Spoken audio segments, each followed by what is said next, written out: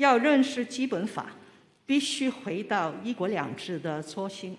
当年邓小平先生提出“一国两制”的构想，是在维护国家的统一和领土完整、保持香港繁荣稳定的前提下，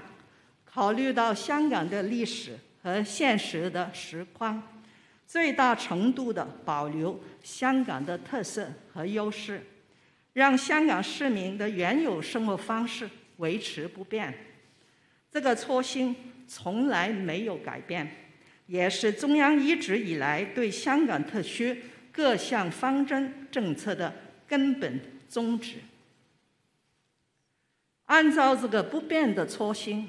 显而易见，主权问题不容讨论，港独主张不能容忍。在具体落实基本法时，我们必须坚守一国原则，正确处理特别行政区和中央的关系，维护中央权力，同时保障香港特别行政区的高度自治权。我们在应用基本法时，也要同时认识中华人民共和国宪法。因为宪法及基本法共同构成香港特别行政区的宪制秩序。宪法第六十二条第二项也列明，全国人民代表大会有监督宪法实施的职权。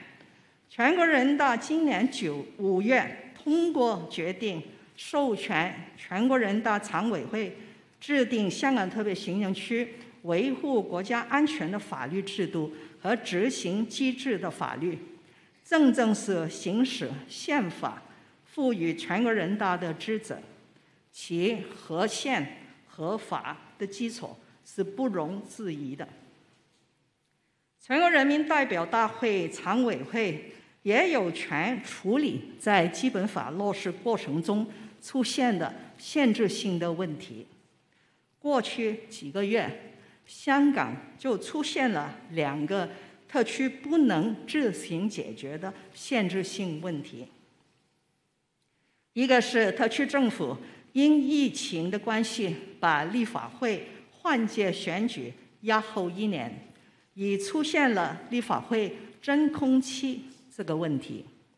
另外一个是经全国人大常委会决定继续履行职责的第六届立法会。四位经选举主任早前才等不拥护基本法、不效忠中华人民共和国香港特别行政区的议员延任资格的问题，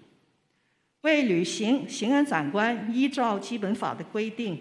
对中央人民政府和香港特别行政区负责的责任，我先后两次请求中央人民政府提请全国人大常委会。从限制的层面解决问题，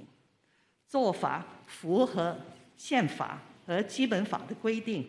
有理有据，不容外国政府或者是政治组织抹黑诋毁。